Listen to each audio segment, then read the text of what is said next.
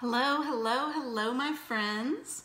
I am back with another series on focus on the face. Um, if you've been watching me uh, and following uh, these, we first did um, how to tell what type of skin we have, the importance of primer. We looked at all of the different types of foundations and we looked at how do you pick the best shades for you. Today's session is going to be on um, the tools, the application tools. And before we start though, I just want to show you that I have my, I have put my primer on, I have my eyebrows done, I have my lashes and eyes done, I even have a lip stain on. Look at how I look though by not having a foundation on. And so it shows you how you need that foundation. You need it to be smooth. Look at all my imperfections and things. So even with doing my eyes and everything, it doesn't look right, okay? Now I also wanted to show you that I used the new technique for my lashes on this side, but not on this side okay, I'm trying to get you to see because I got hooded eyes, you can absolutely see the difference. This side is only two coats of the Epic Brown. This one I used the uh, Esteem as the, the primer. Uh, put that on first, let it dry. Then I use my Epic, the setting powder, and, and Epic again. So it's both are two coats of Epic. It's just the technique. If you miss that, you can find that on Instagram TV, on my Facebook personal wall, and also on my YouTube channel. It's mascara um, tips and tricks. So you can definitely see the difference. I'm gonna have to go back and fix this one. But let's start our focus on the face series. Excuse me. This one shouldn't take very long, I don't think either. Let's hope. All right, I'm going to put my little timer on, in fact.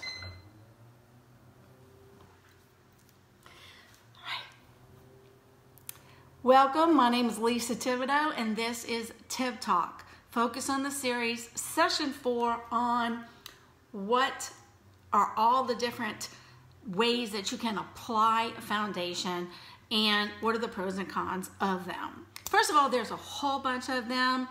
The one that doesn't cost anything are these little digits here, your fingers. So your fingers can be used. Um, it's not my favorite type, um, but again, makeup is always what you like. Um, you can use fingers. There are different types of brushes. There are different types of sponges. There are blending buds. There are um, different types of, I don't, I don't even know what you call this, this type. It's like a silicone kind of sponge. It's not really a blending bud. So there are all different types we're gonna look at them. Whichever type you choose to use, you want to make sure that they're clean. So if you're going to use these fingers, you want to make sure you clean them because you do not want to take any um, any risk when it comes to your face. All right, so my whole face is done except for my foundation. So it shows you that we need foundation. Um, if you looked at session three, when I chose my perfect color, eyelet in the liquid. Um, I have it here. And whenever you have a liquid, you want to shake it up, especially if it's a mineral. This is a mineral based, so that means there's mineral in there. So we want it really shook up so that the consistency um, is correct. What I also like to do with this is to kind of shake it up, make sure there's nothing else in this um, eyedropper, and then I like to kind of roll it and shake it up again. So there's two different ways that you can roll it. Now, there are many ways to apply a liquid. As I said, you could use your fingers, you could use a brush. My favorite is a brush. When you use your fingers, you're probably going to use more of the foundation than you need to, okay? We actually have this liquid foundation brush. It's patented. It is specifically for our foundation, has a little indented hole in the middle, and it's very tightly packed. Um, if you want to evenly diffuse your liquid, you want a brush that's tightly packed, okay? As opposed to a powder puff brush, look how these are not very tightly packed. This is good for a powder, okay, but not for a liquid. All right, even though I have used this one before for a powder, it's really made for a powder. Look again, it is very loosely packed, okay? Look at this one again. See how I really have to pull it. It is firmly packed. That's what you want. The same thing if you pick this type of foundation brush. Again, it's pretty firmly packed and it is uh, it helps you to get a more precise um, foundation coverage, all right? So if you're going to use a foundation brush, I would suggest one of these. And again, it's personal preference. Um, if I use my, and for this is for a liquid. Now, when I, what I usually do is if I'm going to use my BB Flawless, a tinted moisturizer, I'm going to either use my fingers, because your fingers are good for, you know, anything that's like a tinted moisturizer, real light, and you want it light. You're not worried about how much it's going to cover. You want it to just work its job on moisturizing, and you just kind of putting it around. You also can use your fingers if your skin is pretty, you know, in good shape and you're just trying to even it out a little bit, then you could use your fingers as well. Um, just make sure that you keep them clean because I'm very worried about sanitation uh, when it comes to touching your face, all right? So if I'm to use the, the BB Flawless, I will either use a blending bud or I will use this, all right? The thing of this type of foundation brush, um, it, it can sometimes give you like streaks. So if you're going to apply it with this and you're trying to, it can get it right there and it can really pack it in. But then I would suggest you use the blending bud to really kind of uh, smooth it out because the blending buds are going to give you almost an airbrush finish. So almost any of these that you use, I still would suggest you have a blending bud. Now, blending buds, there are so many kinds. Look, there are different sizes. Look at the different sizes I've got just right here. Different shapes. There's all different types. Um, excuse me. We do sell them on our site, but, and this is one from our site, there's really no big difference though in any in any other type. You might see it's just your preference again. This one's softer. Okay, this one's a little bit harder. This one this one's very hard. All right, so it depends on what you feel when you want to do it. The main thing for a blending bud is do not use it dry unless you're using it for powder, which you can like dip it in powder and kind of pack your powder um, in different places. When you're using it for concealer, foundation, blending of any type, you want it wet and damp. Put it under the um, faucet or always, I have like some water here. I'll spray it and then kind of squeeze it a little bit so that it's damp. That's going to make your best airbrushed natural finish and help really get it to stay. So as I said, whatever type you use, you want to have some type of blending bud. Now, I love for people to come to my house for one-on-ones. Uh, it's completely free. Um, there's no purchase necessary. You can get color matched. And I always end up using a blending bud. So I have a whole bunch and I usually give that as a free gift when you come for a one-on-one. -on -one. So book that if you'd like to do that. So I'm going to use the um, foundation brush that's made for this liquid. And I'm going to show you how I put it on. So I usually put a couple of drops in the middle. Some people put it around. If you need a lot of coverage, you might put um, concealer, a few dots of concealer around. And then you just want to first put it all over. Okay? So however you're doing it, if you're doing it with your fingers, I'll show you the same way. If you're to do it with your fingers, I did wash my hands before. Again, just first put it everywhere. And yesterday uh, in session three, I gave you a tip to put less on your nose. So I'm not putting any on my nose. I'm going to blend it up to my nose. And don't forget your draw into your neck as well. So with these tight bristles though, it makes it easy to actually go in circles and buff it into your skin. It's going to make it natural and it's going to make it stay.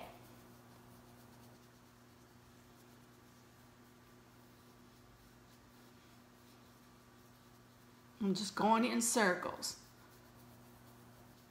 So for a liquid, this is my favorite, the liquid brush. But I'm also going to use my blending bud. Don't stop here. Make sure you pull it down into your neck and blend it.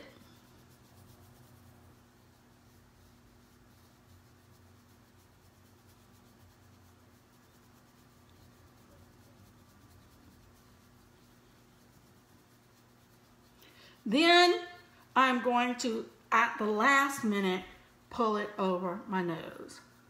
That's going to make your foundation look much more natural if you have less on your nose. Now, unless you have some kind of birthmark or um, rosacea or something, you know that you need the coverage. A lot of people don't. So you want that to be your lightest coverage on your nose. Otherwise, you look more made up. Okay, you, you they see that foundation. All of Younique makeup is very buildable. So I usually just put a few blocks. Notice that this was my whole face with just those few drops, maybe four or five drops at the most. I, I, I, was counting, but it wasn't much in there. And that's also why I like to use this because it helps to make sure you don't overuse your makeup, okay? This is high quality makeup and you don't want to use too much. You want it to last you. But it is buildable. So for instance, I can put a few more drops in my little areas that I have the big uh, hyperpigmentations and rosacea.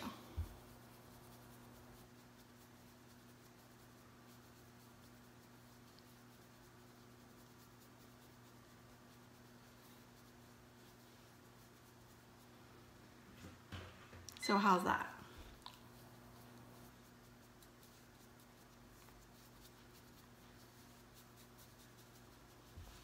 Okay, so when you're talking liquid, fingers, liquid foundation brush, or what this is just type of brush is called a liquid, it's just called a foundation brush. It's just a foundation brush.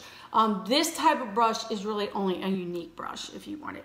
And it is specifically, it was specifically made for the liquid foundation. When it first came out, a lot of people were using this as I said, the problem with this for a liquid is you can just put it, and especially if it's not, if it's kind of a thicker liquid like ours is, you could put a few drops and you still could do it, but you're gonna get a different finish um, on it, okay? So this one is good for powder, this one is good for powder. When you're talking about powder, you want a brush that is, notice how it's kind of like a bell shape and it's not as tightly packed. This is gonna help for the makeup to gradually come off of your um, brush, okay? Um, let me give you some example. I'm gonna actually use it with the setting powder instead of the regular powder, but it would be the same thing with regular powder. This is my favorite one. Um, a lot of people do like this one. This is a powder puff type brush. You would just put it in. This one's my favorite. I love this brush. In fact, I call it my favorite brush. It's the powder concealer brush. So you would just put it in there. And the thing about it is it really holds that powder in. And a good powder brush is not going to put it all in one place. So it is not going to be like I have to do this and then, oh, there's no more powder on it. There's still powder all on it. So it's going to gradually take the makeup off. That's perfect when you're wearing a powder um, foundation. So if you're using our loose powder or our pressed powder with a brush, then this is really the best brush for it because you want it to be gradually so that you can blend and you can get that um, buffing motion, that mattified motion, and be able to um, to get a good coverage. Okay. So that I just used it with setting powder, which is what I like to use on my thing, on my, over my um, liquid. Okay, but for instance, here's a crepe press powder. So if I wanted to, it's, it's a little bit lighter than the eyelet, so I could put a little bit lighter in here.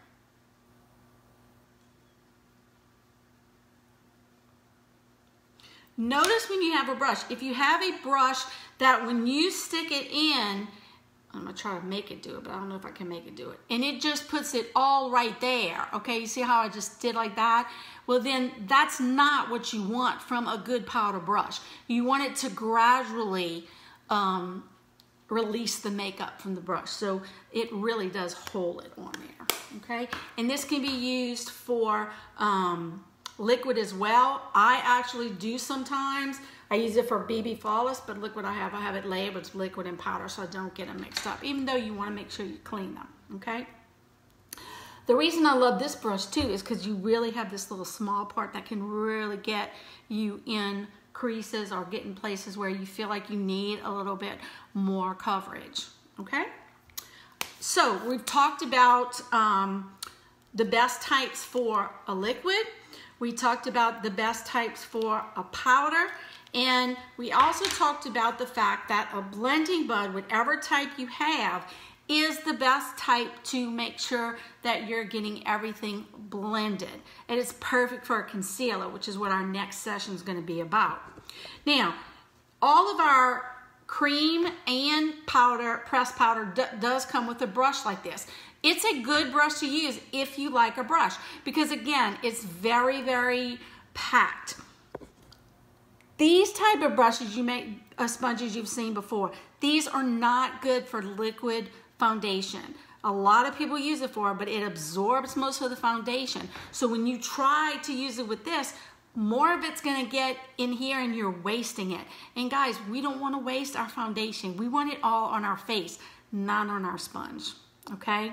So that's why this uh, liquid brush is so good because you're not wasting any. It stays right there in that little indentation that puts it on there. This is really good though for the cream, okay? But you could also use a blending bud for the cream, but this does come with it. Now, this is a new type of applicator that has come, and I did get it so I could could try it. I wasn't a fan of it. Some people love it. It's like a silicone um, made thing. Uh, some of the pros of it is obviously nothing's going to be absorbed into it, and it's very easy to clean. I just didn't like the application of it. But I will tell you, if you're a person that likes to use your fingers, um, and is realizing that, hey, maybe I shouldn't because of sanitary reasons, well, then this would be a good way to do it and then still use that blending bud to buff it in, okay? I hope that helped you to kind of figure out what's best for you. And again, everything that I'm telling you when I'm focusing on the face is what do you like, guys? There are no hard and fast rules. I'm giving you tips and tricks but remember, you try to get all the information you can, which is what I'm trying to give to you, and then choose what you feel best with. This, when I use this, the liquid foundation, and then with the setting powder, and I'll put it on with that brush, this is when I feel like uh, it feels very natural, it feels very light, and look at the difference from how now my eyes and my lips look now that my face has um, the same even tone. All right. I hope this has been a help to you. Um, this series is just to help my customers to get that flawless face that I want all of you to have when you look in the mirror. If you think that one of your friends might like to uh, know this, I'd appreciate a share. And remember, you can always find any of these on my Instagram TV, on YouTube, or on my personal wall. And if you have trouble, just let me know. Message me and I'll tag you in it. Thank you so much. I appreciate each and every one of you. If you need anything, remember my website is thibtalk.com. And if I can help you color match or choose the right brush or blending bud, I'd love it. Y'all have a fantastic day. And remember, we rise by lifting others.